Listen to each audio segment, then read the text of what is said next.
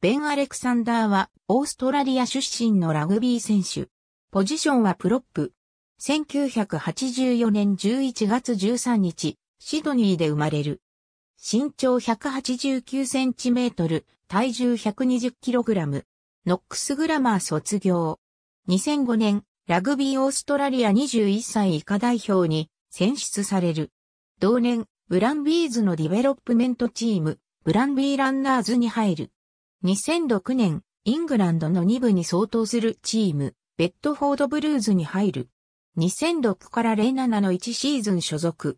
2007年、所属するウェスタンシドニーラムズが、オーストラリアラグビーチャンピオンシップに出場。チームメイトにカートリービール、タタフポロタナウ、ラッチー、ターナー、ジョシュ・ホームズなどがいた。2008年、スーパー14のブランビーズのトップチームに入る。同年、ワラビーズに初選出、フランス戦で代表デビュー。